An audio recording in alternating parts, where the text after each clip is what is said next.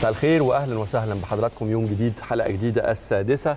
أهلا بكل الاهلاويه اللي بيتابعوا حلقة النهارده. طبعا تابعنا ماتش الاتحاد امبارح النتيجه ما كانتش مرضية لمعظم الجماهير أو لكل جماهير النادي الأهلي اللي كانت منتظرة لحظة التتويج بعد صفاره حكم ماتش الاتحاد. لكن الحقيقة يمكن التتويج أمر محسوم إن شاء الله بإذن الله واللي ما حصلش امبارح يحصل بكرة وإن شاء الله بإذن الله الفرص جاية قدامنا كتير. لكن الأهم بالنسبة لنا واللي ما كانش يعني بجد مرضي جدا هو طبعا مستوى الأداء. طبعا الاتحاد زي ما قلنا امبارح قبل الماتش فريق محترم مقدم سيزون أكتر من رائع.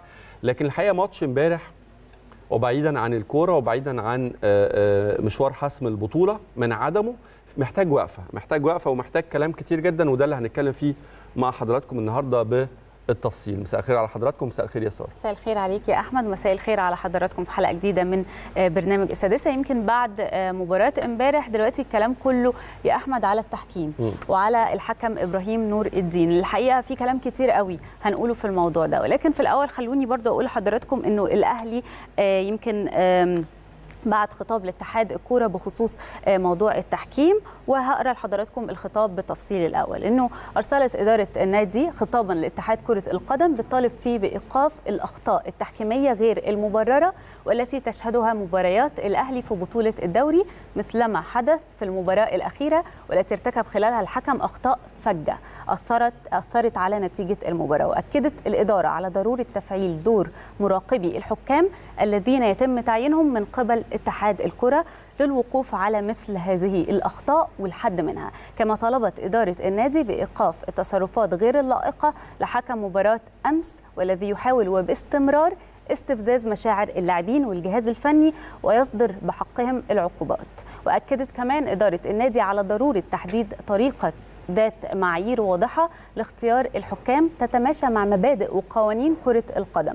وجاء في خطاب النادي للاتحاد اليوم أن الحكم الذي أدار مباراة أمس يدير المباراة الرابعة للأهلي هذا الموسم والثانية خلال 12 يوم في حين إن الحكم المصنف رقم واحد لم تسند إليه إلا مباراة واحدة للأهلي. كما أن لجنة الحكام جاءت بالحكم الكرواتي إيفان بابك لإدارة مباراة القمة بالرغم من استبعاده من حكام النخبة إيه في أوروبا واستبعاده من قبل لجنة الحكام بالاتحاد السعودي بسبب أخطائه الفجة وهو نفس الحكم الذي أدار مباراة الأهلي وبيراميدز الموسم الماضي وأثارت قراراته غير الموفقة وقتها جدلا كبيرا. وللأسف جاءت لجنة الحكام بنفس الحكم ليرتكب نفس الأخطاء في حق الأهلي والتي تخالف جميعها قانون كرة القدم. كمان شددت إدارة النادي على ضرورة إرساء العدالة بين الأندية المتنافسة والالتزام بمبادئ وقوانين كرة القدم. يمكن كلام كتير قوي على الحكم آه إبراهيم نور الدين امبارح. وقد إيه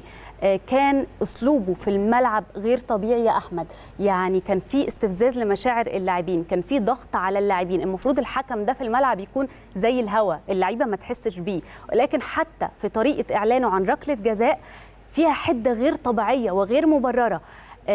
حسيت للح... حتى كان بيضيع وقت يمكن أكتر من اللاعبين يا أحمد. حسيت للحظة إن إحنا في فيلم سينما في بياخد اللقطة. خلينا نتفق على نقطة واضحة وصريحة. المبدأ الأول والأخير ويمكن يكون الوحيد المتعلق بفكرة المنافسة هو إرساء العدالة.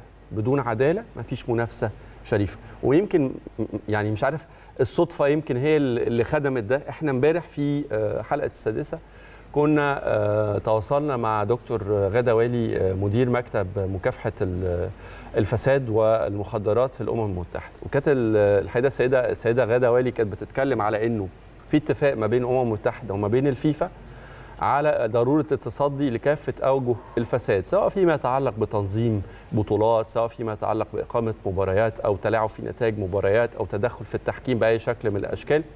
وده دليل على الكلام اللي أنا بقوله لحضراتكم. امبارح الحقيقة مش هو الموقف الوحيد. إحنا الحقيقة في أكتر من موقف ويمكن امبارح كان في أكتر من لقطة محتاجة إن إحنا نقف معاها ونفهم.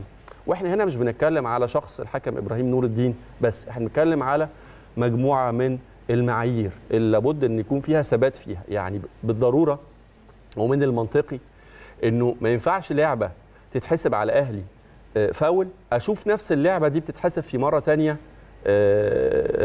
فاول على الأهلي برضه يعني يعني أنا هوري حضراتكم بعض الأمثلة النهارده من ماتشات سابقة لقطة مثلا لأجاييه في الصندوق بيلعب الكرة براسه وهو واقف وهو يعني منتصب القامة زي ما بيقولوا.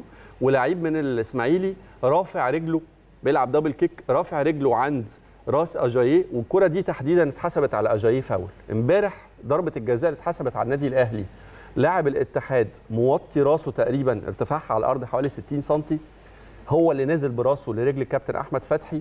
زي ما حضراتكم شايفين دي لقطة اجاي اللي أنا بقول لحضراتكم عليها. الكورة دي اتحسبت فاول. في أخطاء دي اتحسبت فاول على أجايي يعني هنا جونيور واقف زي ما حضراتكم شايفينه مش موطي راسه على الإطلاق. اللاعب الثاني بيعمل double kick ورافع رافع رجله. طبيعي جدا مش محتاج أكون بدرس أو دارس تحكيم. اللعبة دي خطر على أجايي. اللاعب الإسماعيلي رافع رافع رجله وصلت لراس أجايي تمثل خطورة على لاعب النادي الأهلي.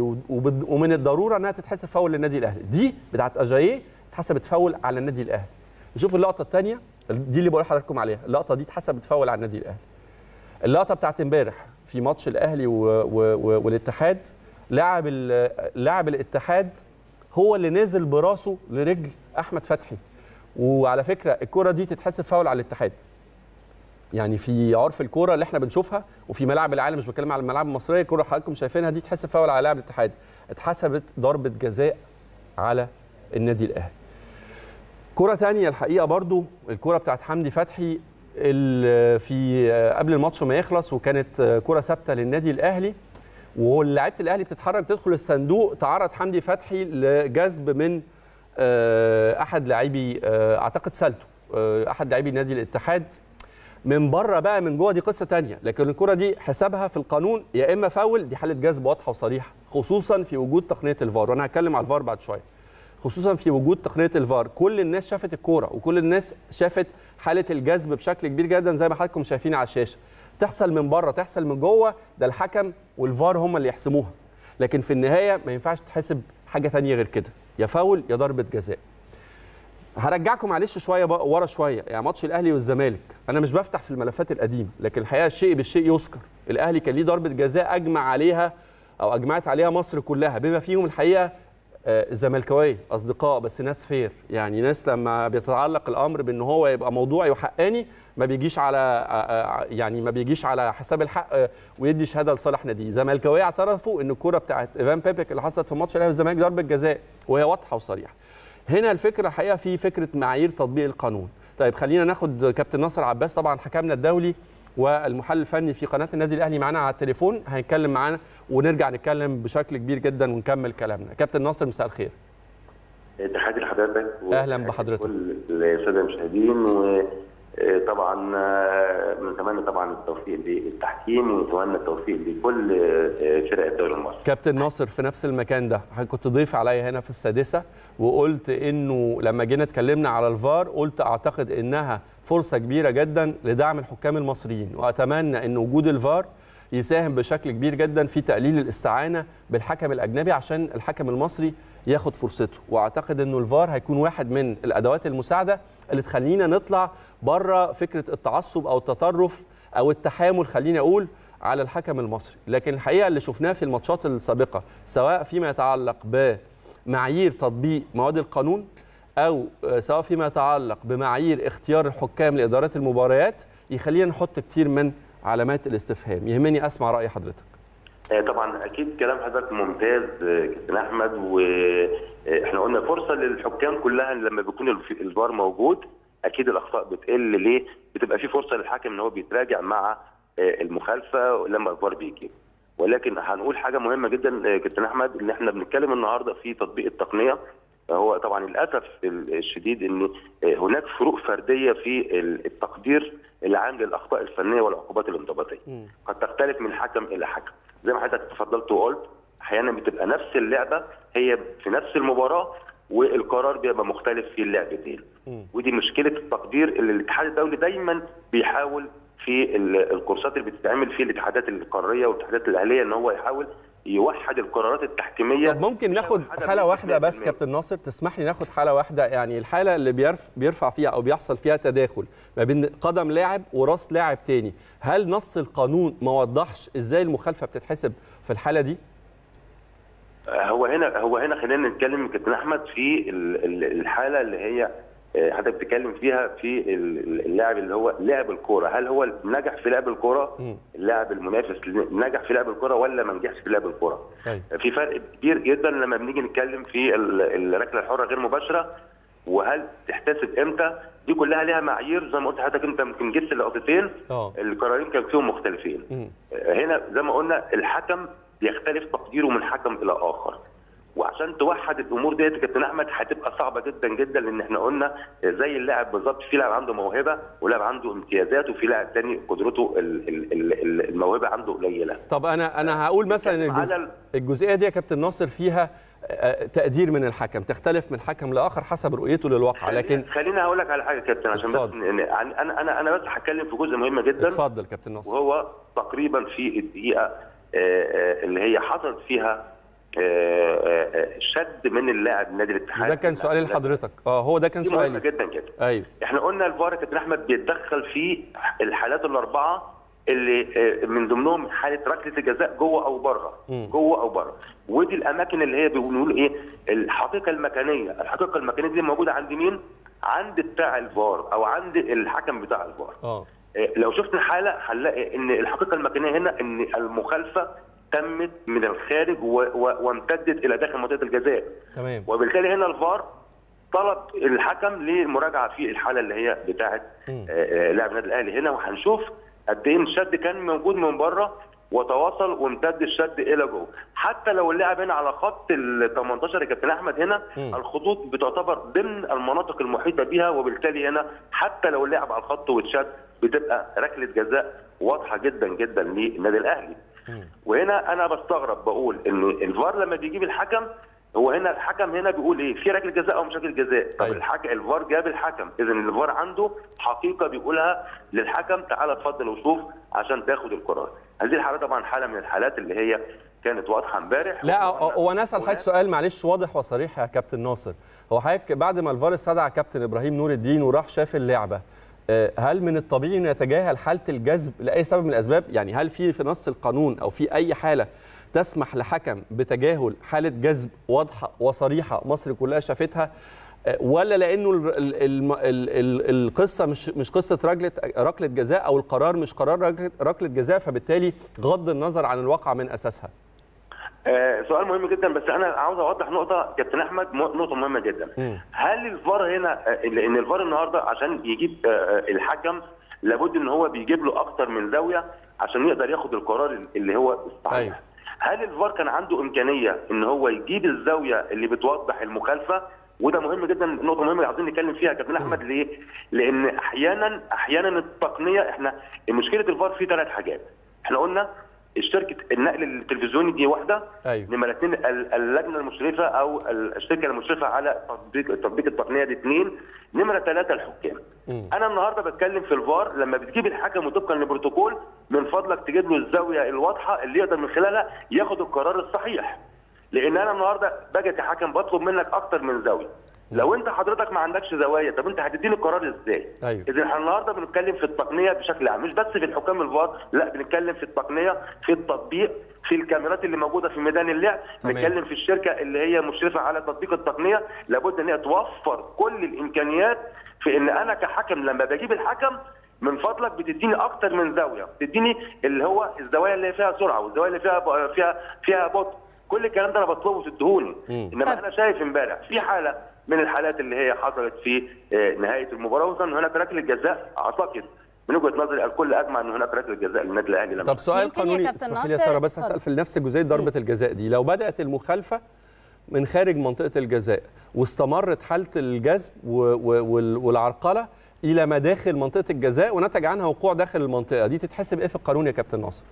آه، ممتاز يا كابتن إحنا قلنا المخالفة عندما يكون هناك شد ويمتد. الشد الحاجة الوحيدة في القانون إن كان خارج منطقة الجزاء. وامتد هذا الشد إلى داخل منطقة الجزاء طبقا للقانون الحكم بيحتسب المخالفة من داخل منطقة الجزاء. أما إذا كان هناك شد والشد تتوقف قبل منطقة الجزاء طبعا بحسب ركله حره مباشره من بره. منطقة الجزاء. حالة امبارح الشد امتد إلى داخل منطقة الجزاء. يا كابتن أحمد وبالتالي زي ما قلت لحضرتك كانت حالة من الحالات اللي كان يجب عليه الحكم هو طبقا للقانون أن يحتسب ركله جزاء صحيحه تفسيرك إيه لأنه كابتن إبراهيم نور الدين ما حسبش البنالتي أو ركلة الجزاء للنادي الأهلي؟ أنا بقول في حاجة احتمالية أكتر من احتمالية يا كابتن أحمد زي ما قلت لحضرتك. هل هو في ال- ال- الفار الفار يعني آه، آه، اداله الزاوية اللي هي من خلالها يقدر يوضح ولا لا؟ ده السؤال. أيوة. يمكن ده السؤال ده اللي إحنا بنتكلم فيه لأن أنا بقول إيه؟ من فضلك هات أفضل زاوية للحكم عشان يقدر ياخد بيها القرار. ولو أنا النهارده جيت لحضرتك قلت لك تعالى شوف القرار دوت وما اديتلكش الزاوية اللي هي توضح المخالفة بتبقى في صعوبة في اتخاذ القرار. ولكن إحنا بنتكلم كمشاهدين. هي نفس اللي إحنا شفناه أعتقد الحكم شافه. أيوه. اللي إحنا شفناه في التلفزيون لأن هي نفس اللقطة اللي شفناها أعتقد الحكم شافه. هو شاف حضرتك الحكم. حضرتك شخصيا يا كابتن ناصر محتاج تشوف زاوية تانية عشان تبقى اللعبة واضحة بالنسبة لك؟ يعني الزاوية اللي إحنا شايفينها دي؟ طبقا للبروتوكول يا كابتن أحمد أنت آه. بتجيب لي أكتر من زاوية آه. عشان أقدر أشوف المخالفة بشكل واضح. آه ليه؟ عشان كده بنقول إيه؟ الكاميرات اللي في الميدان اللعب هل هي كافية للنقل ولا مش كافية؟ مم. لأن إحنا قلنا إن في بروتوكول بيقول النهارده أقل شيء في الملعب ست كاميرات أو ثمان كاميرات إلى مثلا 12 أو 18 كاميرا في الموجودة في الملعب. أيوه طيب أنا النهارده المفترض أنا كحكم الفار وظيفتي إن أنا أوضح وأتيح للحكم أفضل زاوية لاتخاذ القرار. طيب يا كابتن ناصر حضرتك يمكن كنت عندي ضيف قبل كده وكنا بنتكلم على إنه من الطبيعي إنه مع تطبيق الفار الجدل حوالين الأخطاء التحكيمية ده يقل. بس إحنا شايفين يا كابتن ناصر إنه واحدة واحدة عمال الجدل ده يزيد من ساعة تطبيق الفار. آه تمام كلام يا أستاذ سارة. كلام جميل جدا. إحنا قلنا المشكلة مش بس في الحكم المشكلة في ثلاث عناصر مهمين جدا يا أستاذ سارة. وإحنا قلنا المشكلة في التقنية هل التقنية بتنفذ بالشكل الصحيح؟ المشكلة في عدد الكاميرات مشكلة في الحكام الفار. هقول حكام الفار وفي مشكلة ليه؟ لأن آه اولا لم يتم تدريب حكام الفار بالوقت. المسموح اللي هم يقدروا من خلاله يقدروا إن هم يدوا القرارات بالشكل الصحيح. ليه؟ لأن مفترض إن إحنا النهارده بنطبق تقنية جديدة كان ساعات التدريب والتدريب للحكام كان المفترض تاخد فيها أكبر وقت عشان خاطر تقدر الحكام تاخد القرارات الصحيحة. أيوه النمره اثنين عندنا المفترض إحنا بنحط حكام الفار اللي هم عندهم الخبرات الكبيرة. الحكم الذي له قدرة في إن هو يدي القرار للحكم ويكون في ثقة ما بين حكم المباراة وحكم الفار. تمام. بمعنى إن أنا يعني النهارده كحكم كبير دولي لما بلاقي إن في حكم دولي في الفار على قدر كبير من المهارة بيبقى في اطمئنان كحكم ليا لما بيجي يديني قرار أنا ببقى أعتقد نفسيا مرتاح بعكس لما تديني حكم ما عندوش خبرة فأنا بشكك في القرار اللي بيقوله هي دي المشكلة مم. المشكلة يا فندم إحنا عاوزين نقول إن الفترة اللي جاية لابد من مسؤول الحكام إن هم يبتدوا يعملوا كورسات كتيرة لأن إحنا بقى لنا خمس أشهر إحنا ما بنتمرنش على التقنية وعندنا حكامنا لسه ما زالوا حتى الآن طيب التقنية تسمح لي كابتن ناصر بعيدا عن تقنية الفار. بعيدا عن تقنية الفار وحضرتك كنت أحد مسؤولين لجنة الحكام يهمني أعرف آه، يعني لجنة الحكام بتختار أو إيه هي المعايير اللي على أساسها بتختار الحكام لإدارة المباريات؟ يعني هل هل بيتم الموضوع آه، آه، بشكل ليه علاقة بجماهيرية النادي؟ هل بيتم الموضوع بالدور؟ هل بيبقى فيه قرعة؟ يعني على أي أساس بتتحدد المعايير اللي بختار منها بيها؟ حكم معين لإدارة آه، آه، آه، مباريات الدوري. تمام يا كابتن أحمد. السؤال جميل جدا برضك. عشان نوضح للناس كلها هو لما الفار اتعمل للأسف الشديد إحنا كان هناك في حاجة اسمها رخصة ال on-field، ال on-field اللي هم إيه؟ الحكام الذين لهم الحق في إن هم يحكموا في ميدان اللعب. تمام وللأسف الشديد هم حكام قليلين جدا جدا يا كابتن أحمد. أي يعني إحنا بنتكلم تقريبا في 18 حكم هم بس الذين يحملون رخصة ال on-field. أنا ما أقدرش أجيب حكم تاني من الحكام يقدر يحكم لأن هو معهوش الرخصه. وبالتالي إحنا بنقول إيه إحنا لا- لابد إن إحنا نوسع القاعدة بتاعة الاختيارات من خلال عمل كورسات تاني للفار لحكام تانيين ياخدوا الفرصة بتاعة ال on-field لأن أنا عشان أعمل تدوير أو rotation للحكام لابد يكون عندي على الأقل 35 أو 40 حكم. النهارده حضرتك أنت بتلعب في 18 حكم يعني معنى كده إن كل أسبوع تسع حكام تسعة وتسعة كل الح... كل أسبوع حكم هيلعب بس حتى لو كان العدد قليل يا كابتن نصر زي ما حضرتك بتقول مش من المنطقي شوية إنه كابتن إبراهيم نور الدين يدير مباراتين للأهلي تقريبا في خلال يمكن إيه 10 12 أيام يوم. 12 يوم. يعني برضو مع كامل الاحترام لأنه العدد قليل زي ما حضرتك بتقول بس مش من الطبيعي. إحنا عندنا 18 حكم يعني المفروض نقابل مثلا أنا مش ضد كابتن إبراهيم نور الدين أنا بتكلم عشان نفهم بس سياقه سياق الموضوع بيمشي إزاي. آه، لكن. من الطبيعي إن أنا أقابل كابت- كابتن إبراهيم مثلا كل آه، سبع ثمان ماتشات. لكن يعني في في 12 يوم كانت طبعا طبعا. هنتكلم في التعيينات دي مهمة جدا مم. موضوع التعيينات مهم جدا وأعتقد إن الكابتن وجيه أحمد موجود هو رئيس لجنه الحكام أيوة. ويمكن هو مسؤول عن التعيينات بقاله فترة كبيرة جدا مم. آه، ولكن بنتكلم في مع... كمان حاجة مهمة جدا معايير اختيار الحكم للمباراة أيوة. كل حكم لابد إن هو يكون يعني جدير مباراة يعني مش كل مباراة تمشي على كل حكم يا كابتن أحمد. ولكن بنقول إيه؟ بنقول إن إحنا لو حكم مثلا يعني أنا بتكلم أيام ما كنت حكم وأنا أيوة. عندي مشكلة مع نادي أو في مشكلة مثلا مسبقة أنا يعني بيتم ابعادي شوية عن النادي عشان أنا ما بقاش أنا تحت ضغط نفسي كحكم وبالتالي أنا النادي كمان بيبقى ساعات أحيانا مش متفائل بيا. مش هنقول إن أنا الحكم وحش لا هنقول إنه مش متفائل أو مش مرتاح ليا. وبالتالي هنا بنراعي حتة مهمة جدا جدا. الحكم اللي بيكون عنده خطأ مع نادي لابد ان إحنا نبعده شوية وبعدين نبتدي نرجعه بشكل واحدة واحدة وبالتالي هنا يبقى ما فيش مشكلة. ده ده الاستثناء يا كابتن ناصر معلش يا سارة ده الاستثناء. أنا عايز أعرف القاعدة اللي على أساسها بتتوزع الحكام أو أسماء الحكام على على إدارة المباريات. يعني هل بيبقى في اجتماع أسبوعي بنقعد كده نقول والله الحكم الفلاني هيلعب هيحكم ماتش كذا ولا بيبقى في دور ولا بيبقى في قائمه من بداية الموسم مع إعلان مواعيد الماتشات والجدول بيتم تحديد أو تسكين الأسماء بتاعة الحكام إيه السيستم المعمول بيه في داخل لجنة الحكام؟ تمام كلام جميل وكل أسئلتك حلوة يا أستاذ أحمد. بيه إحنا بنتكلم في اختيار الحكم في التعيينات. أكيد آه. في لجنة التعيينات موجودة. هذه اللجنة تجتمع كل أسبوع وبتشوف مثلا المباريات المهمة في الجدول. م. هل هذه المباراة مين ياخدها؟ فلان أو فلان أو فلان وبعدين هنا بياخدوا آراء وبتصويت على النادي الأهلي مثلا عنده مباراة النادي الزمالك عنده مباراة لا فلان الحكم الفلاني هو اللي يقدر يشيل المباراة. أكيد أيوة. بتبقى في لجنة لاختيار واللجنة دي بتبقى عاملة معايير لاختيار الحكم في هذه المباراة. طيب كابتن ناصر بس عايز أعرف من حضرتك يعني لو الأخطاء دي فضلت مستمرة و... وعدم تطبيق الفار بشكل صحيح في الدوري المصري هل ممكن يبقى في عقوبات من الفيفا؟ هل ممكن مثلا يتم يتم سحب الترخيص؟ يعني إيه اللي ممكن يحصل؟ إيه التوابع؟ آه، تمام. آه، الأسئلة جامدة. عاوز أقول حاجة مهمة جدا إن الفيفا يتابع كل ما يدور في الفار عندنا في مصر. وبالتالي هو في بروتوكول للتطبيق وفي إجراءات للتطبيق. وهنا الفيفا بيلزم أي دولة تنفذ أو تطبق الفار بهذه المعايير. عندما يلاحظ الفيفا إن هناك مثلا الأمور مش ماشية بشكل كويس أكيد بتبقى في إجراءات من الفيفا بالتحذير أو بالإنذار أو بايقاف الفار لفترة لحين إعداد الحكام بشكل جيد. صحيح. هنشكرك شكرا جزيلا ونعتذر على الإطالة. اعتقد أعتقد حضرتك نورت لنا جزء كبير جدا من الجزئية الخاصة سواء بالفار أو بمعايير اختيار الحكام. بنشكرك شكرا جزيلا كابتن ناصر عباس. شكرا يا فندم. طبعا خلينا نروح لفاصل ونرجع لحضراتكم نكمل كلامنا في السادسة.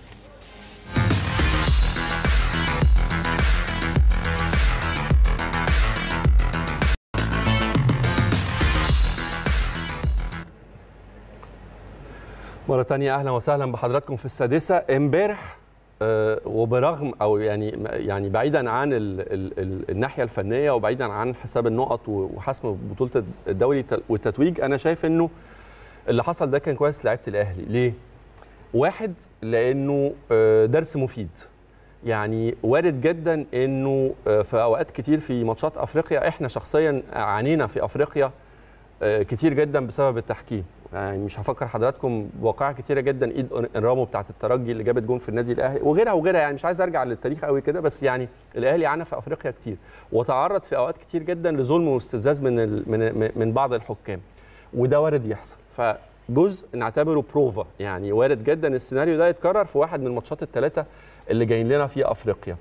الجزء الثاني طبعا الحمد لله الحمد لله الحمد لله إنه الشناوي تألق وصد ضربة الجزاء لأنه أعتقد لو الأهلي أو الماتش ده كان خلص بخسارة الثلاث نقط والماتش على الرغم إن هو مش هيفرقوا كتير في مشوار البطولة لكن أعتقد إنه استقبال جمهور الأهلي للخسارة كان هيبقى مختلف. وخدوا بال حضراتكم إنه إحنا لما بنتكلم على تطبيق العدالة في ملاعب الكورة بنتكلم على مشاعر ملايين. يعني لما جمهور كورة يشعر إنه فرقته اتظلمت بيبقى في حالة من حالات الغضب وحالة من حالات الاحتقان إحنا تماما في غنى عنها. لكن برضو خلينا نبقى موضوعيين. مش التحكيم هو اللي أدى لتعادل الأهلي في ماتش امبارح. أعتقد إنه المباراة امبارح إن جاز إن إحنا نطلق عليها هي مباراة للنسيان. ولا إيه أنا معاك يا أحمد فعلا. أنا شايفة إنه خلاص مباراة امبارح آه، صفحة واتقفلت.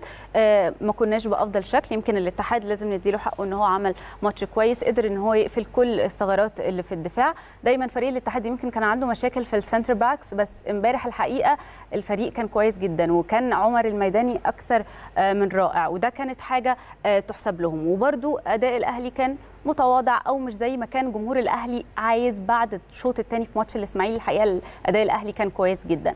يمكن طرد أحمد فتحي أثر ولكن برضو عايزه أقول إن الشناوي غطى على ده. يعني أداء الشناوي امبارح يعني زي ما عودنا دايما وتصديه لركلة الجزاء دي حاجة ممتازة. ومكمل clean sheet يعني 20 مباراة. يمكن دي أول آه، مباراة الحقيقة الفايلر في الدوري مع الأهلي إن هو ما يهدفش آه، في مباراة. ولكن فكرة إن الشناوي كلين شيت 20 مباراة حاجة فعلا آه، تحسب له. عايزه أقول كمان إنه الصفحة دي. خلاص لازم تتقفل. ولكن يا أحمد برضو في حاجة.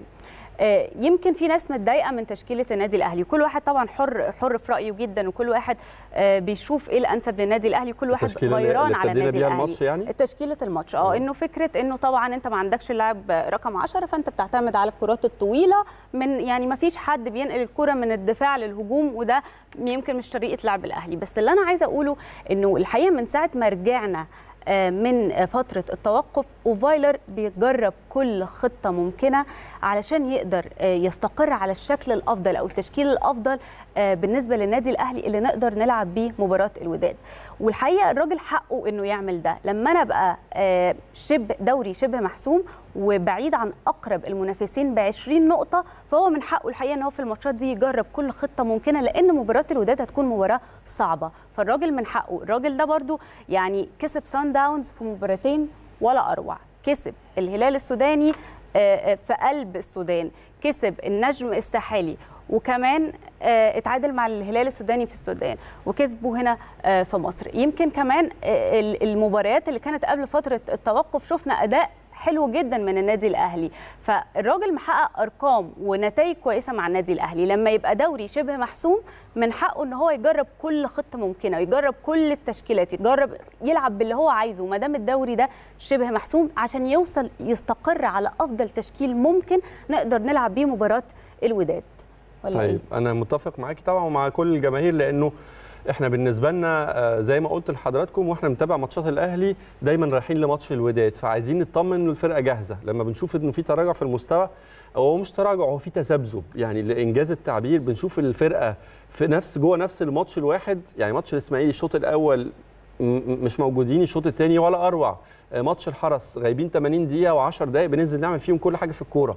حتة التذبذب دي هي يمكن بالنسبة للناس الشغل الشاغل بالنسبة للجمهور. لما نشوف في استقرار في المستوى في ثبات في المستوى نطمن على الفرقة ده إلى حد كبير جدا. هو الدافع الأول الناس لما بت بتنتقد أو بتقول ليه ما فيش نمرة 10 وليه ما فيش صانع ألعاب يربط الفرقة ده يعني غير ناس غيرانة على فرقتها وعايز تشوف الأهلي دايما في أحسن مستوى. وده أنا أكدت عليه طبعا من حق جمهور الأهلي إنه غيران ومتعود زي ما بنقول دايما متعود على إن الأهلي دايما بيكسب وده حق جمهور الأهلي صحيح. لكن بس بندي فايلر حقه ما دام إحنا حاسمين الدوري بإذن الله طيب. إنه يجرب ممكن كل نطمن. نطمن الناس على على النادي الأهلي وعلى فريق النادي الأهلي آه، طبعا حضراتكم عارفين بعد الماتش النهارده راحة من التدريبات يعني الراجل عايز يدي الفرقة نفس كده في في ضغط وفي توالي في الماتشات فالراجل قرر يريح النهارده ويبتدي من بكرة تدريبات استعدادا لماتش المقصه عندنا رامي ربيعة يمكن اللي اتغير في الماتش للإصابة آه، ونزل مكانه أحمد فتحي. ده كان بهدف الحفاظ على ربيعة اللي حس بشد بسيط في العضلة الخلفية والجهاز الفني قرر إن هو يستقبله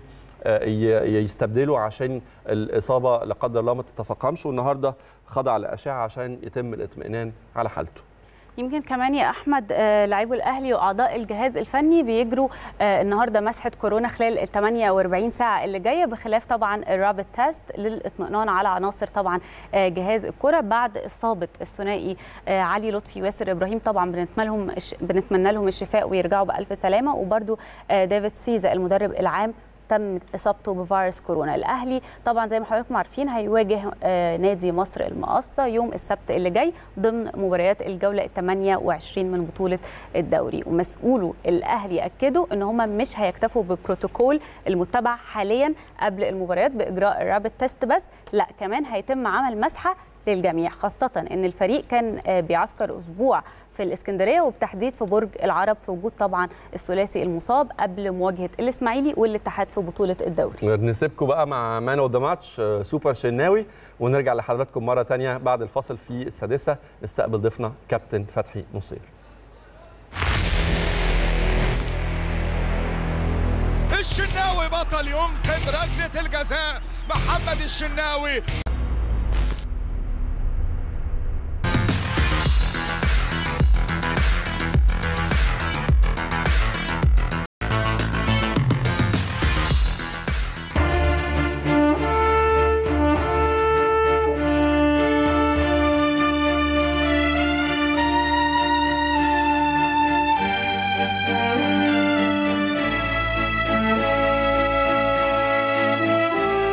العديد والعديد من النجوم والأساطير الذين كتبوا تاريخ الكرة المصرية داخل الملعب بمهاراتهم وإمكانياتهم وسرعاتهم.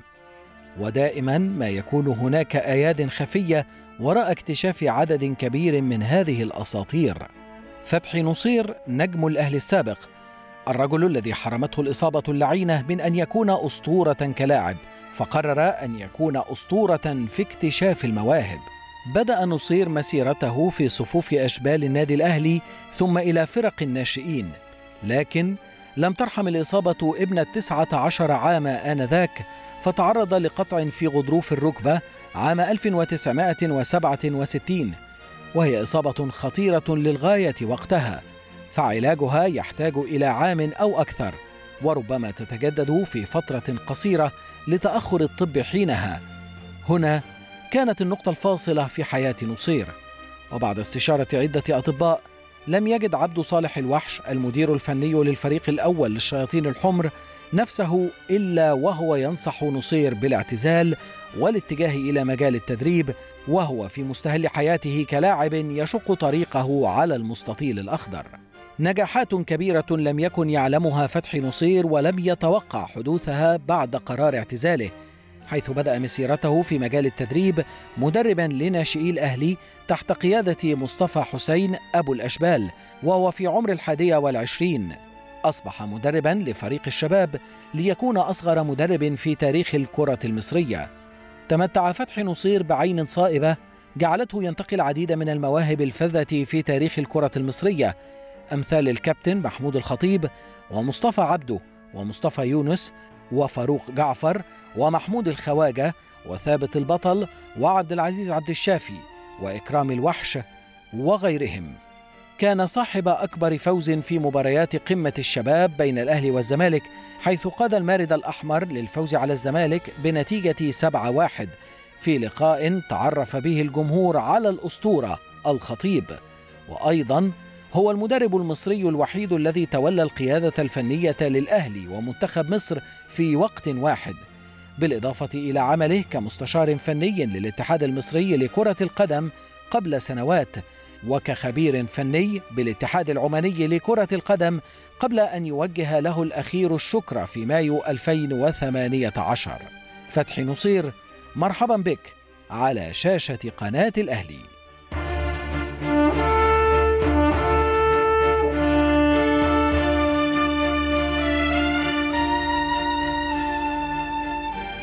راعي النجوم ومكتشف المواهب أصغر مدرب في تاريخ كرة القدم المصرية مدير فني النادي الأهلي ومنتخب مصر كابتن فتحي نصير. هو ضيفنا في السادسة. مساء أهلا بيك يا كابتن فتحي. أهلا يا حميد وسعيد جدا إن أنا ألتقي بيك إن شاء الله بإذن الله في قناة الأهلي ونقدر نقول حاجة كويسة إن شاء الله. شرف كبير إن حضرتك تكون موجود معانا. حضرتك اسم كبير جدا في مختلف المجالات والمناصب اللي حضرتك توليت فيها المسؤولية. كنت بالتأكيد صاحب بصمة وبصمة مهمه أهلا وسهلا بحضرتك. أهلا بيك أنا بس قبل ما أدخل في الكلام عايز أطمن وأطمن الناس على حضرتك وعلى حالتك الصحية. أنا عارف إنه كان في وعكة كده من فترة قريبة. يهمنا نطمن عليك ونطمن الناس معانا. لا دي كانت بعد شهر رمضان. آه. والحمد لله الأمور عدت وبقينا تمام. الحمد لله. والصحة وبندعو الله سبحانه وتعالى أن يديم علينا هذه الصحة. يا رب يديم على حضرتك الصحة. خليني أبتدي الحقيقة من امبارح. وامبارح يمكن آه يمكن يكون ملخص ل آه، فترة ما بعد الكورونا. يعني انا إحنا بنشوف إنه طبعا الأهلي في بطولة الدوري آه، ختم بس- ال season أو نص ال season الأولاني ولا أروع. أعتقد إنه كان من ناحية الأرقام ومن ناحية الأداء والمستوى في أعلى curve أو في أعلى منحنى. آه، إمبارح شفنا ماتش الاتحاد. بداية عايز أعرف انطباعات أولية من حضرتك على آه، مستوى المباراة بعيدا حتى عن النتيجة وفكرة المنافسة على البطولة. آه، بسم الله الرحمن الرحيم. الحقيقة النادي الأهلي آه، مش هنتكلم بقى كأداء أو آه، التزام لاعبين بأسلوب خططي معين. أو بأفكار المدربين. أنا عايز أضمها إن في في هذه الفترة بسميها الفوضى الكروية. إيه هي الفوضى الكروية؟ الفوضى الكروية إن كل واحد مش عارف يقوم بشغله. بمعنى إيه؟ أنا كمدرب إحنا النادي الأهلي جايب مدرب. أيوه. المدرب ده بيدفع له آلاف عشان ينقل خبراته وينقل إمكانياته للاعبين وينعكس ده على أدائهم في الملعب. مظبوط. كرة القدم علمتنا إن في مباريات ويسبق المباريات تدريبات وبين المباراة والمباراة لابد أن يكون هناك وقت مش وقت الاسترخاء أو وقت ال- استعادة الشفاء أو مم. اللياقة أو الحاجات دي كلها مش هي دي. هو الغرض منها إن المدرب لو فرضنا المباراة يوم جمعة يبقى بتيجي يوم السبت نعمل استشفاء واللعيبة ريكفر لهم ويرجعوا الكلام ده. تمام. نيجي يوم الأحد نصلح أخطاء المباراة السابقة تمام. اللي هي كانت يوم الجمعة. أوكي.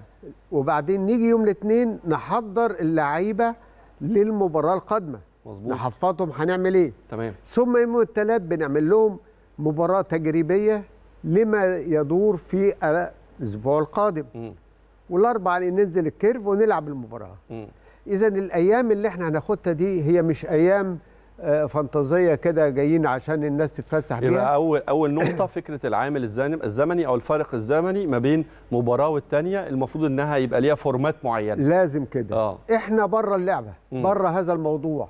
أما النادي الأهلي لعب يوم الجمعة والنهاردة لعب يوم الاثنين. بقى عنده السبت والحد. طب مم. يوم السبت المفروض المدرب هيعمل إيه؟ هيعمل استرخاء وهيعمل استعادة الشفاء ويجهز اللعيبه طبعا طيب. إحنا بس كابتن فتحي إحنا ما عندناش بديل. يعني إحنا المسابقة طبعا العالم كله مر بفترة صعبة جدا season استثنائي مضغوط لأقصى درجة عشان نقفل ال season ونعرف نفكر في السيزون الجديد فده أمر واقع. لكن هل ده مبرر من وجهة نظر حضرتك لحالة عدم الاستقرار في ما المستوى هو أصل ده مش النادي الأهلي بس آه ده, ده كل الأندية. طبعا مصر. طبعا مفهوم أنا ما طبعا. بتكلمش عن النادي الأهلي. أيوة، أيوة. يعني إحنا هنا في قناة الأهلي آه. لكن لا نتكلم على النادي الأهلي فقط بنتكلم على الكرة المصرية. طب أفكر مع حضرتك بوجهة نظر الجهاز الفني شوية. يعني أنا عندي ماتشين أو عندي ثلاث ماتشات إن شاء الله بإذن الله يبقوا ثلاثة عندي ثلاث ماتشات مهمين جدا في أفريقيا.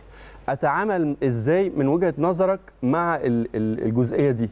يعني أبتدي كل مباراة بتشكيل.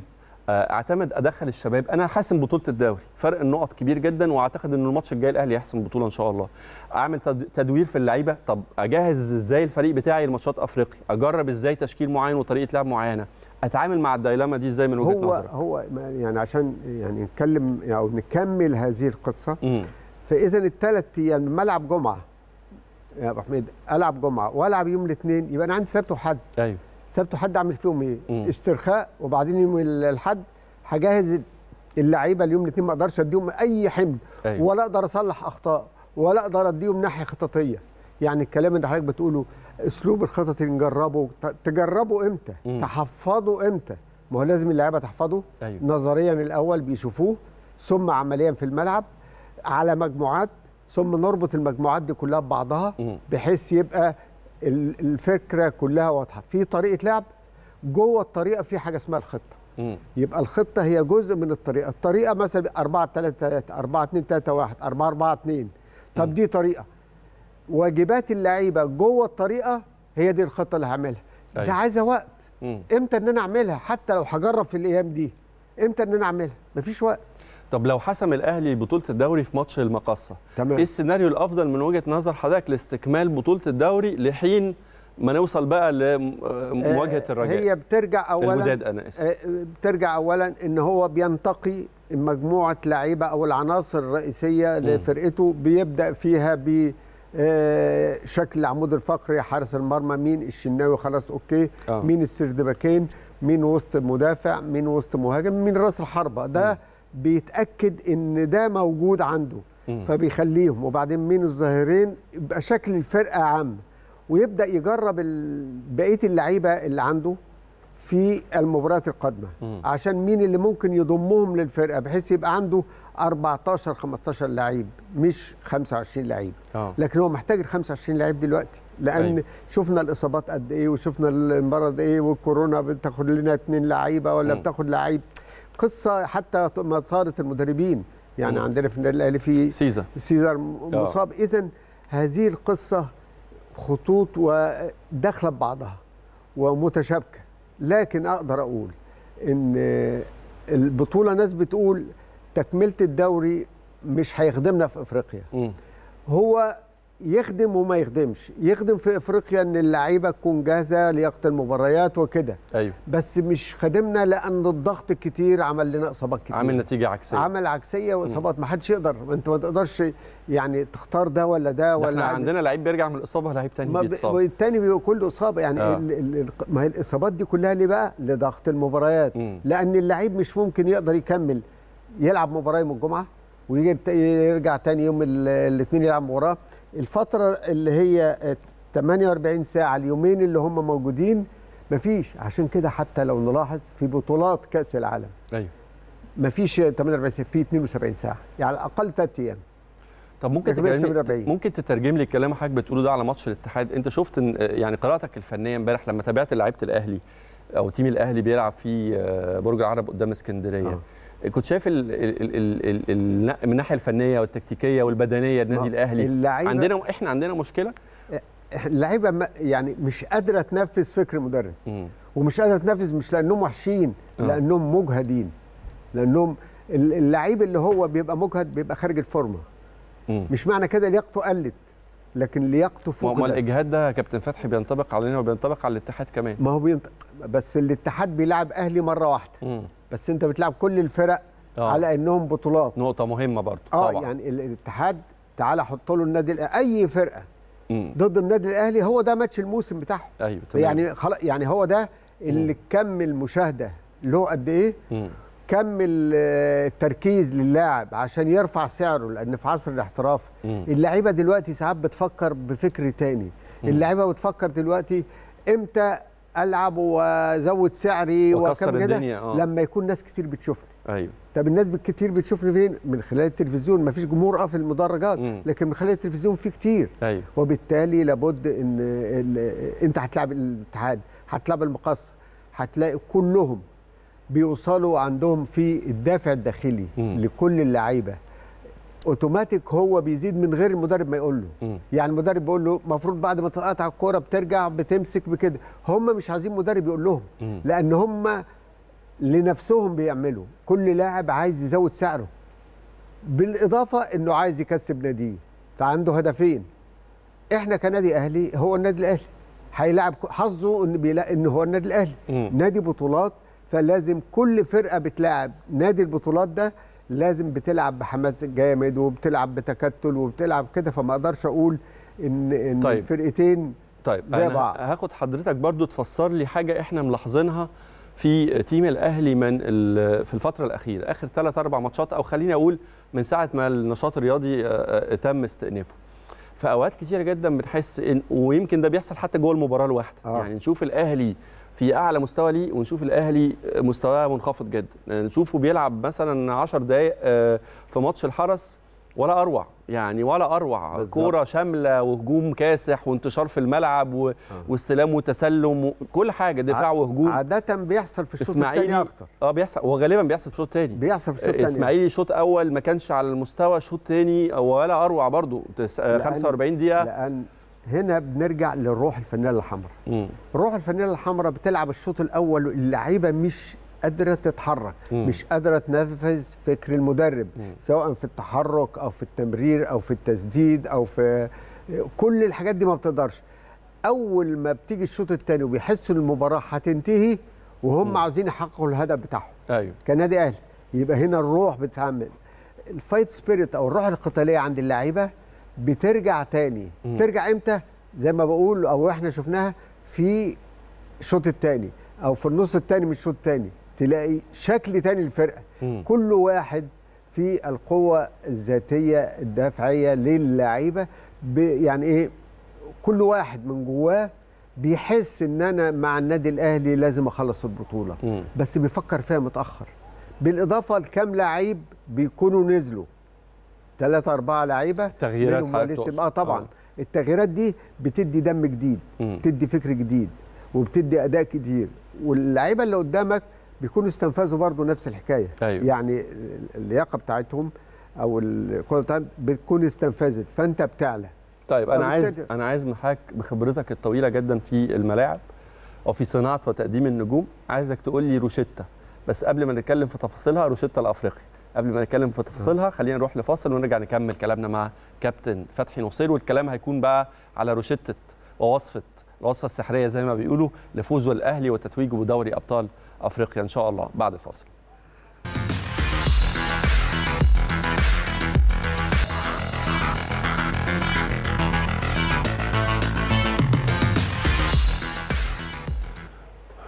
الأهم بالنسبة لكل الأهلاوية هو مشوار أفريقيا والحاجات اللي ممكن تحسس جماهير الكرة بالقلق آه، آه، برضو ارتباطها بمواجهة الوداد مش بحسم البطولة ومش بفقدان نقطتين زي ما حصل امبارح مع الاتحاد. قبل الفاصل كنت بتكلم مع كابتن فتحي نصير على الروشتة اللي من وجهة نظره يقدر الأهلي بيها يكمل مشوار أفريقيا يتجاوز كل العقبات اللي منها زي ما كنا بنتكلم قبل الفاصل جزء منها مرتبط بتوالي المباريات حالة الإجهاد الإصابات اللي موجودة بشكل كبير وبقت يعني جزء من الروتين ال- التيم بتاع النادي الأهلي في الفترة الأخيرة. ربنا يشفي الجميع طبعا يا رب. أهلا بيك كابتن فتحي مرة ثانية آه، يمكن بنتكلم تقريبا عن شهر بالتمام والكمال وندخل في مواجهة الوداد. مع كل الكلام اللي قلناه في المقدمة إيه السيناريو الأمثل؟ حضرتك شايف إنه الأهلي عليه إنه يشتغل عليه الفترة اللي جاية؟ كإدارة فنية وكلاعيبة عشان يحضروا بشكل محترم ويبقوا جاهزين لمواجهة الوداد في قبل نهائي أفريقيا.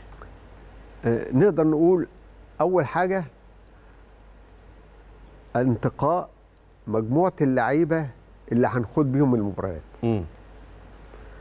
واللي هو مش مصاب نحاول إن هو يكون في الفترة اللي جاية نعالجه أيوة. نجهزه نقدر نعمل منه يعني إحنا اللي هيلحق غالبا يدخل في القائمه الشحات آه آه. بيعمل تأهيل دلوقتي هو ده عايز إعداد محمد. محمود لازم إعداد في مباريات آه لازم يلم يبقى المباريات اللي هي باقية لنا سبع مباريات أو ست مباريات تستغل في آه، إعداد هؤلاء اللاعبين الحاجة الثانية يبقى أنا بخليهم لفورمة المباريات. لعيبة في فورمة المباريات الحاجة الثانية الإعداد النفسي.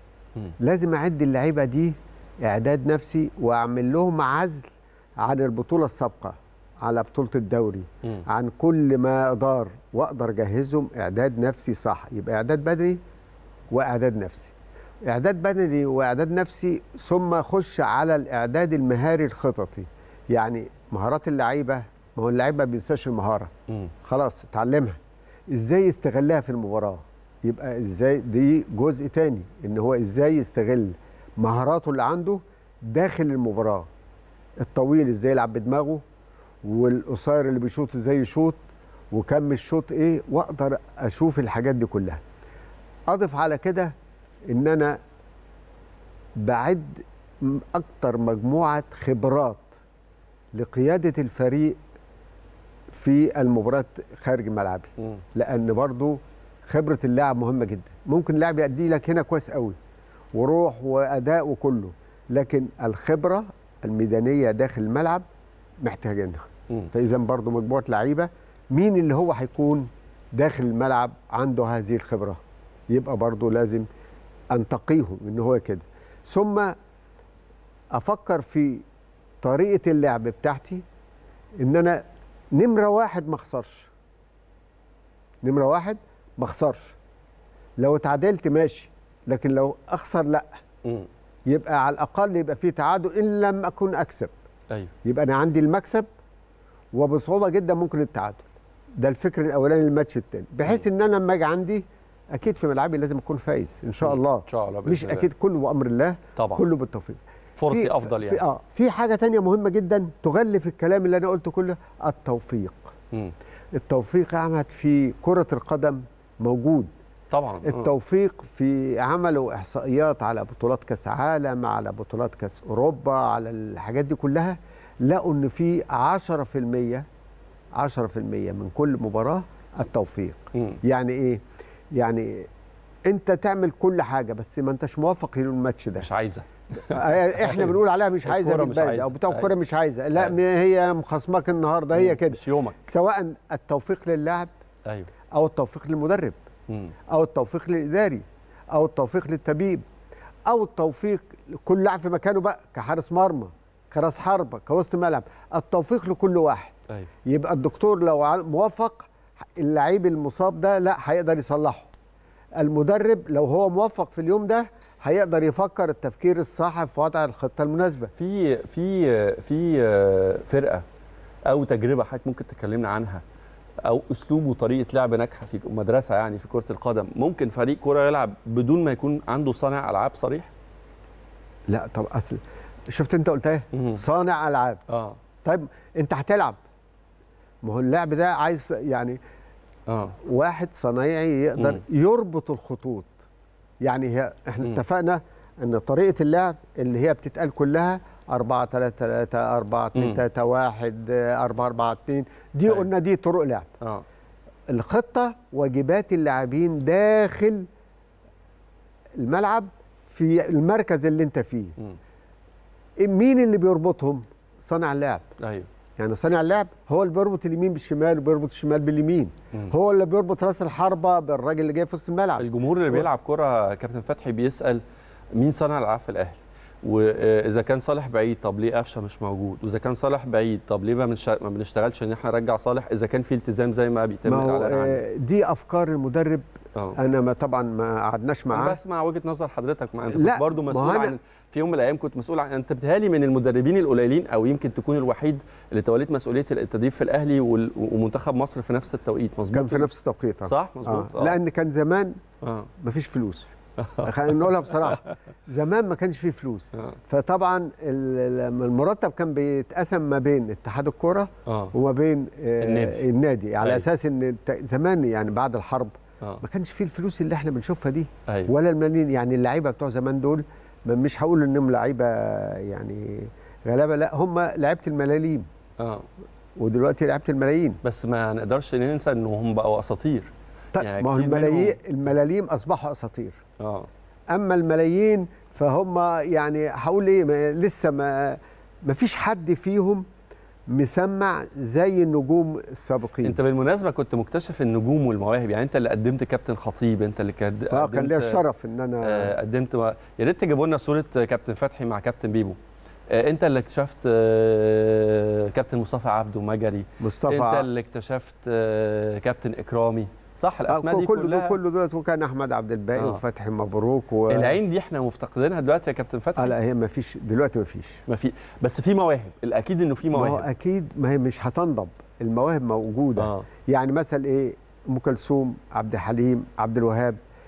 برضه حتى في الموسيقى ما فيش اللي هو الودن اللي. هي بتنقي. دي صورة كابتن فتحي نصير وكابتن خطيب. ده استاد القاهرة دي أنا فتحي. عايز يعني نعبر فيها. ده آه. آه، بيبو قاعد يعني في الأرض وكنت أنا واقف وبنعمل تدريبات. كل حاجة هو كان يحبها بالكورة. ما يحبش يجري بدون كورة. آه. فحتى هنا بقى نعمل له تدريبات بطن بس بيستغل الكورة على أساس إن هو بيلعب فيها. الحاجة الملاحظة تسيب بيبو وتسيب فتحي. خلينا نشوف المدرجات. المدرجات دي فاضية ما فيهاش بني آدم. ده استاد القاهرة بالمناسبة. أيوه. استاد القاهرة ما فيهوش بني آدم وما فيهوش عامل. وما فيهوش أي ولا شرطة ولا أمن ولا أي حد خالص. مم. كان إيه اللي بيحصل؟ هنا حب كرة القدم.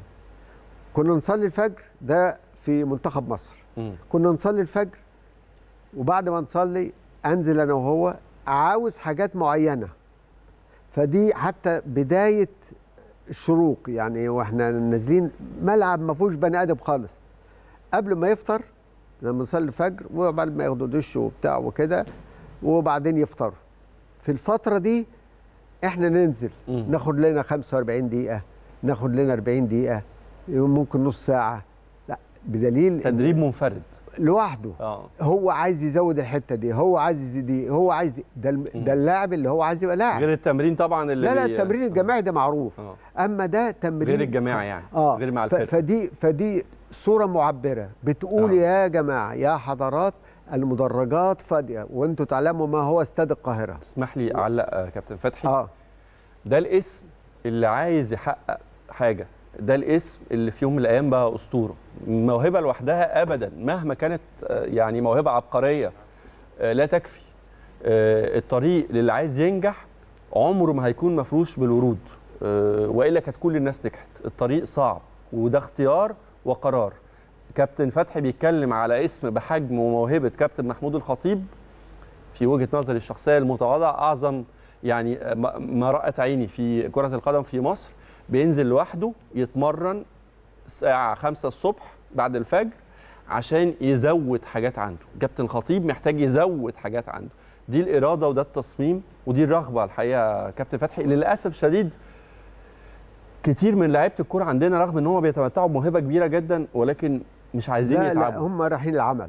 آه. يعني إيه العمل؟ أنا رايح الصبح الشغل وراجع من الشغل. رايح الشغل بيعتبرها شغل. مم. لكن ما بيعشقوهاش هو يعشقها. هو هو واقف يكلمك هو لو لقى غطا بيبسي مرمي في الأرض ياخدها ينطقه. يعني مش شرط يوطي يجيبه. أيوة. هو ممكن يجيبه كده. ليه؟ لأن هذه الموهبة اللي هي جواه أو اللي هو فيها أو اللي هو اللي عايش. بدليل ما بقول لحضرتك إن ما يحبش أي تدريبات إلا بالكورة. فيقول لي لابد ان وأنت تقعد بقى تفكر عشان تجيب له تدريبات كتير أها. بالكورة هي مش بسهولة عشان أنت هتحط حاجة معينة لجزء معين لجزء في العضلة المعينة.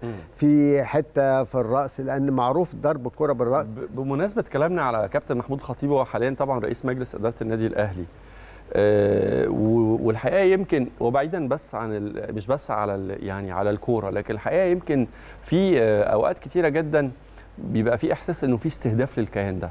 يعني إحنا ر- رصدنا حتى هنا في الفترة الأخيرة أو في فترة ما بعد عودة الدوري آه، هجوم آه، في أوقات كتير جدا آه، بيكون شرس وفي أوقات كتير جدا بيكون ممنهج وأوقات كتير جدا بتحس وكانه بفعل فاعل. خليني أسمع تعليق حضرتك على النقطة دي بس بعد ما نروح لفاصل سريع ونرجع مرة تانية مع مشاهدي السادسه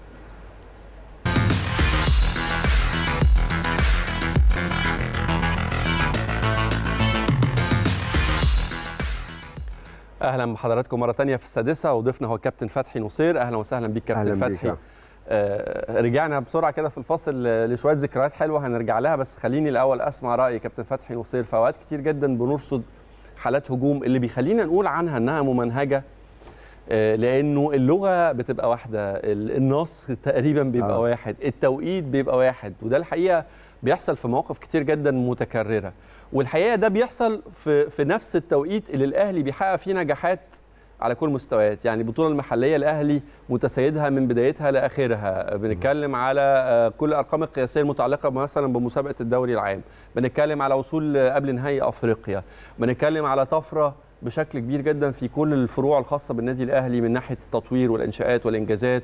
شوف آه، استاد للأول مرة بي ب ب ب بيحمل اسم النادي الأهلي. فكان من مش من المنطقي أو من الطبيعي إنه يبقى في حالة الهجوم دي. الحقيقة أنا كنت بقول دايما إنه الهدف الأول والأخير ليها هو تعطيل المسيرة ونجاحات النادي اللي بتتم على كل مقاييس حضرتك شفتها إزاي؟ وشايف إنه من ممكن يكون إيه الدوافع والأسباب اللي بتقف وراها؟ أنا بسميها آه، حروب الجيل الرابع. في كرة القدم. إيه حروب الجيل الرابع في كرة القدم؟ فرقة متقدمة ما هو ما فيش حرب هيضربوا بعض أو هيتخانقوا مع بعض أو هيلعبوا مع بعض لكن شايفين نجاحات لفرقة وشايفين عمل لفرقة وشايفين رئيس نادي ما بيتكلمش. مدرسه الأهلي أيوه. رئيس النادي الأهلي ما بيتكلمش سواء آه كابتن محمود خطيب كابتن حسن حمدي كابتن صالح سيف ما حدش بيتكلم. يعني الأجيال إمسك كده كابتن عبد الصالح كابتن آه آه الفريق عبد المحسن كان مرتجي طبعا. دكتور إبراهيم الوكيل. كل الأجيال دي كلها ما حدش بيتكلم. هم بيعملوا. ورئيس تشعر بيه عشان كلامه لما يكون كتير بيبقى كلامه يعني ما تحسش بقوته. فدي مدرسة النادي الأهلي. فدولت ما بيتكلموش. طيب وفرقهم بتكسب ماشي. طب إزاي أنا آه، يعني أستفزهم أو إزاي أخليهم يخرجوا بره يعني تفكيرهم الحالة دي وتركيزهم. وتركيزهم انهم بيعملوا. ما هو اللي هو ما بيتكلمش بيركز مخه بيشتغل في حاجة. مش ممكن صاحب بالين كذاب وصاحب ثلاثة منافق. منافق. فالمخ اللي هو بيفكر فيه أنا بفكر هعمل كذا وأعمل كذا وأعمل كذا. أما واحد يجي يشدني هضطر ابص. أنت لما أنت أقول لحضرتك اتنين بيجروا مع بعض في السباق. لو واحد بيجري لو اللي قدام ده بيبص على اللي جاي من وراه هيقعد كل شوية يبص عليه أيوة. التاني هيسبقه صحيح لأن ده بيعطله مم. فهو عايز يتعطل فبيلجأوا لهذا العمل في ال social media بالنسبة. لحروب الجيل الرابع الكروية إنهم يبدأوا يستغلوا سواء ال social media أو القنوات الفضائية أو التلفزيونات أو الإعلام أي وسيلة إن عاوزين الناس دي تبص لهم أو التركيز. تستفزهم. فت... لو أنت تستفز مش هتفكر صح. مم. أما بتكون عصبي مش هتفكر صح. حتى أنت لما تكون جاي وبتخانق بقول بس اهدى اهدى. طب اغسل وشك. طب خد كوباية مية. طب اقعد عشان تهدى. فطبعا هم عاوزين يحاربوك من النقطة ده. دي مش يعني خ... مش هتلجأ لها أنت. ما أنت لو لجأت هتبقوا أنتوا الاثنين زي بعض. صحيح. فسيب أي حاجة أنا بعتبر إن دي كلها آه، أو ده حق آه، أو ضريبة إن في نادي آه، يهوى حصول على البطولات. هي هوايته. كل واحد له هواية. النادي الأهلي هوايته حصول على البطولات. بطولات. في كل المجالات. مش في كرة القدم بس في جميع الأنشطة الرياضية. النادي الأهلي عايز ياخد بطولة. هنا عايز جعان بطولة. مم. وكل يعني ما بمناسبة تكسب بطولة. البطولة ف- فرص الأهلي في الفوز ببطولة أفريقيا من وجهة نظرك يعني تقريبا كده كام في المية؟ ما نقدرش نقول غير الأربع فرق يلعبوا بعض أول دور. آه. عشان برضو نكون واقعيين أيوه وبعدين ما نكونش عاطفيين. مم. أما أكون عاطفي طبعا أنا هقول لك النادي الأهلي. آه. أنا هنا في قناة الأهلي. هتقول لي مين؟ طبعا النادي الأهلي هياخد البطولة؟ لا. لازم أشوف الثلاث فرق لا التانيين. منتظر إن الإجابة تكون النادي الأهلي إذا ما أو في حالة كذا. لا ما أنا ما أعرفش التانيين آه. شكلهم إيه. آه لسه ما تقدرش تحكم على مستواهم. ما المنا- أقدرش. الفرقة وب- المنافسة يعني. آه وبعدين أنا عايز أعد نفسي إعداد صح. مم. إعداد بدني مهاري خططي نفسي ومهم جدا الإعداد النفسي. تمام. مع إضافة اللاعبين ذو الخبرة اللي عندهم إمكانيات ولعبوا في بطولات سابقة عندهم القدرة على السيطرة على المباراة وعلى طول المباراة. وقت تسجيل الهدف وقت احراز هم يحرزوا هدف إزاي أنا أتصرف إزاي اللعيبة تتصرف. كل دي أوراق قصة بقى غير الدوري. أيوه. ده قصة تانية. عايزة دماغ؟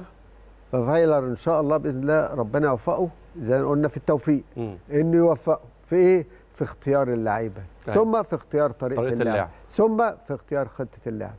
لو ربنا وفقه واللعيبة إن ربنا وفقهم في تنفيذ أيوة. اللي بيقوله هو فايلر طب ما تقول لي كده طبقا للأوراق الم- المتاحة دلوقتي. آه، أنت شايف إيه طريقة اللعب الأمثل اللي يلعب بيها النادي الأهلي؟ وايه هو الت- التشكيل الأمثل اللي يقوم بالواجبات اللي تناسب طريقة اللعب ما دي؟ هو دي دي يا أحمد هيبقى صعبة. ده كل ال 80 مليون بيقعدوا كل يوم يحطوا التشكيل ويقولوا طريقة ما, اللعب. ما يقدروش لسبب آه. لأن هم ما عندهمش اللعيبة حالتهم شكلها إيه. مم. يعني امبارح رامي ربيع خرج هل حد كان عارف إنه خرج ليه مم. فاكرين في الأول أنا غيره كده لا عنده احتمال يجي له شد فنطلعه. بره. مش عايز إن هو ي... الإصابة تتفاقم أيوه إن هو. يستفزه ولا كده ولا بتاع آه القصة دي المدرب لازم يكون أو أنا عايش مع المدرب ما أنا بصفتي كمدرب مم. كل الناس مدربين طب ب- ب- مش هقول كمدير فني يعني أو من آه. الناحية الفنية كجمهور يعني أنا قبل الماتش بقول النهارده الأهلي هيلعب الماتش ده أنا أتمنى إنه التشكيل يكون بكذا وطريقة اللعب كذا ما أنت حت... التمني شيء التمني إحنا بنتمنى ما... ما... لا ما إحنا هنتمنى آه. بس أنا عايز طيب كلامنا يكون علم... الكلام العلمي إن موضوعي. أنا عندي اللعيبة دي أيوه هي اللعيبة دي اللي تكون جاهزة ومعروف إن هم إمكانياتهم إيه آه. ويبقى دولت اللي أنا اخترتهم وبعد كده هختار منهم لأن هو بيختار كام؟ مم. أول ما بيختار بيختار له مثلا 24 ثم يختار كام؟ 18, 18 ثم يختار كام؟ 11 11 ويتبقى عنده البدلاء واثنين هيطلعهم بره اللي هم من فوق ال 20 كل دي وبعدين من ال 11 واجباتهم إيه؟ مم. هو بيشوف تقول لي طيب هو بيختار الطريقة الأول ولا بيختار اللعيبة الأول مم. يعني هل هو هيختار الطريقة وبعدين ي- وخطة اللعب ثم يختار اللعيبة اللي هتنفذ له الكلام ده يختار اللعيبة اللي جاهزة ويبني عليها هيختار اللعيبة اللي اللعب لا هو هيختار الأف- أجهز لعيبة عنده ويبني عليهم طريقة ويبني اللعب. عليهم أما لو كان هناك لاعب أو اتنين ومانيش عارف آه، آه، أنا هلعب خلاص اتفقت على الطريقة دي بس اللاعب ده مش هيقدر ينفذ أيوة. خلاص اللي هينفذ لي هو ده اللي هلعبه ممكن يكون. يعني إن هو توقع. إن ممكن اللاعب ده هو اللي ممكن يأدي له هو اللي ممكن في النهاية. ينفذ له فكره. بمناسبة آه، الذكريات أنت دلوقتي ذكرت أسماء يعني آه، رؤساء النادي الأهلي اللي تتالوا على تولي المسؤولية. آه، كابتن عبد الصالح الوحش وكابتن صالح سليم والفريق مرتجي. بس أنا عايز أقف مع الفريق مرتجي لأن عارف إن في واقعة شهيرة جدا. هو موقف يعني أنت ما تنساهوش للفريق مرتجي. فيا ريت يعني تشاركوا معانا ومع مشاهدي السادسة بس إحنا آه. بنتكلم كنا بنتكلم في حاجات حامية قوي والماتشات والناس داخلة لا لا ده. وعد كان مشهور جدا واعتقد كانت وراه واقعة هي الوحيدة في تاريخ ال- النادي الأهلي كله آه. الحقيقة كانت آه، الفريق عبد المحسن كان مرتجي كان أب ما كانش رئيس ما كانش رئيس النادي الأهلي كان أب لكل من ينتمي للنادي الأهلي دي دي حاجة ما يعرفهاش الجمهور يعرفها آه، الناس اللي عاشت أو تعاملت مع رؤساء النادي كلهم الحقيقة بدون استثناء. في مواقف كتير جدا وصور بنشعر إنه رئيس النادي هو أب لكل أبناء النادي الأهلي. آه شوف ما فيش عمل خير. ما فيش آه آه نقول إيه جوازة تمت في للاعب أو لمدرب أو لكده إلا من خلال الفريق مرتجي باسمه. يعني لو واحد عايز يروح آه، بيجاز وتقدم وأهل الزوجة مش عايزين. لأن زمان مفيش فلوس. آه. كان أنت يا دوبك مرتبك ووظيفتك اللي بره. أيوة. إزاي يقنع؟ والحاج أحسان حرم الله يرحمه. مم. برضو من الناس المحترمين. وكانت بيقول لها لا روحي اعملي كذا. كانت تساعد معاه في النادي الاهلي لاعمال خير. أيوه أنا جيت آه، في يوم مش عارف خطبت فبقول له يا سياده الفريق آه، أنا عايزك تت... يعني قال لي إيه؟ أصل قال لي ما تتكلم أنت آه. كلام أنا بتكلم بالظبط كانه هو قدامي. أيوه. آه، فبقول له يعني تحجز لي في أوتيل كذا في أوتيل معين كان. هو اللي اللي كده تعزمني عشان فيه الفرح. قال لي هقول لك حاجة. قلت له إيه؟ قال لي لو كسبتوا الدوري بدون هزيمة. هعمل لك فرح في النادي الأهلي. آه. سيادة الفريق أنا أقول فاكره يعني بيهزر. ما- فيش حاجة في النادي الأهلي عمر ما فيش أفراح فيه. ولا خطوبات ولا كلام كده. قال لا أنا بقول لك كده. كان زمان فرقة النادي الأهلي مش بيراهنوا هيكسب ولا لا. مين اللي هيجيب الجول الأول؟ آه. المكسب ده معروف. آه أمر مفروغ منه. آه يعني الأهلي هيكسب هيكسب. بس آه. مين اللي هيجيب الجول الأول. يوم يتراهنوا. وبعدين مين اللي هيكسب الجول الثاني يوم يتراهنوا. الكلام ده. فالمهم لعبنا في السنة دي وكسبنا كل الماتشات وباقي خمس مباريات. زي الموقف اللي إحنا فيه دلوقتي. أيوه. هو باقي آه سبع مباريات. سبع ماتشات آه. آه يعني لو خدنا ماتش هيبقى ست. المهم آه بعد الماتش بعد ما كسبنا رحت له بقى فاضل خمس ماتش قلت له يا سياده الفريق أنا وفيت بوعد اهو قال لي إيه؟ قلت له كسبنا الدوري بدون هزيمه قال لي. لا بقية الماتشات. قلت له بقية آه. الماتشات ما خلاص الدوري خلص. الدوري خلص. قال لي آه. لا لازم بقيه الماتشات. آه. فكان هيدوكوتي كنت أنا مع هيدوكوتي. قال لي بقى إحنا عاوزين نريح آه، الخطيب ونريح قلت له لا، ما يريحوش. قلت له ليه؟ قال لي عشان هنلعب بقى بطولة وداخلين على بطولة بطولة إفريقيا. وجوز في الشارع. مم. إيه يا خواجه قال لي إيه؟ قلت له الوضع كذا كذا كذا. المهم ال- كملنا. آخر ماتش كان مصر بورسعيد في بورسعيد. وأول آه، خمس. دقايق دخل فينا جول. قعدنا لغاية آخر دقيقة الكوره مش عايزة تخش آه. تيجي هنا تيجي هنا تيجي هنا والجوازة هت لغاية ضربة ركنية مصطفى عبده ضربت في رجل التفاني بيطلعها دخل. الجول واحد واحد خلاص الحمد لله وخلص ال season بدون هزيمة عملناه بدون هزيمة آه. وعملناه في حديقة راتب اللي هو المسجد أيوة. عند المسجد مدخل المعلمين آه. ودي كان أول وآخر فرح يتعمل في النادي في النادي الأهلي. شرفتنا ونورتنا يا كابتن فتحي نصير. انت دول رقمين قياسيين. بره الرياضة طبعا اتحققوا أول أصغر مدرب في تاريخ الكرة المصرية وأول وآخر فرح يتعمل داخل جدران النادي الأهلي. وبرضو نقدر نضيف حاجة إن المصري الوحيد أيوة. اللي أدار أو قاد 10 بطولات, أفريقية. طبعا طبعا. آه، لا أنا كجنرال- قلت بره الرياضة أنا عارف آه، جوه الرياضة في- ك general coordinator منسق أيوة. عام بطولات أمم أيوة، أفريقيا. أفريقيا. 10 بطولات. ما فيش مصري وما فيش إفريقي. قدر جمع 10 الرقم ده. بطولات آه. في هذه البطولات شرفتنا ونورتنا. بس اسمح لي إحنا معانا دقيقة يهمني جدا في وجود حضرتك معانا.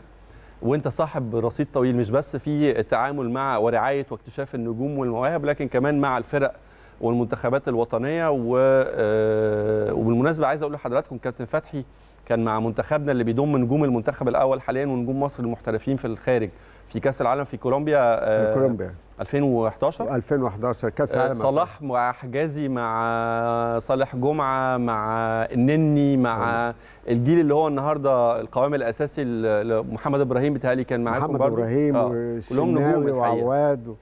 إيه الكلمة اللي تحب توجهها للنادي الأهلي؟ ولاعيبه النادي الأهلي و... وتقول لهم إيه يعني ممكن. يكون رسالة قبل السيزون اللي بعتقد انه واحد- في غاية الأهمية بالنسبة لهم آه، أول حاجة النادي الأهلي نادي كبير ونادي عظيم ونادي بطولات ونادي إنجازات يا ريت لو كل واحد فينا حس بقيمة النادي الأهلي والقيمة دي بستمدها من جمهور النادي الأهلي. لأن جمهور النادي الأهلي في كل مكان في كل بلد في كل قرية في كل نبع في كل مع جميع المستويات من أيوة. أعظم واحد الدكاترة العظماء الوزراء الفلاحين أي حد يا ريت على حد هذا الجمهور مم. انتمائك وحبك للنادي ده هو اللي هيخليك تزيد أكتر وتقوى أكتر الحاجة الثانية اللي عايز أقولها بمناسبة صالح جمعة أيوة. يا صالح طبعا أنت كنت معانا في كأس العالم 2011 وأنت يا صالح لعيب كويس نموذج كويس بس يا ريت تعرف إن العمر اللاعب في الملعب 10 15 سنة مم. ثم ما بعد كده عيش حياتك زي ما أنت عايزها. اختارها لكن ال 15 سنة اللي هتعيشهم أو ال 10 سنين دولت عيشهم لجمهور النادي الأهلي. والحب النادي الأهلي ومجلس إدارة النادي الأهلي.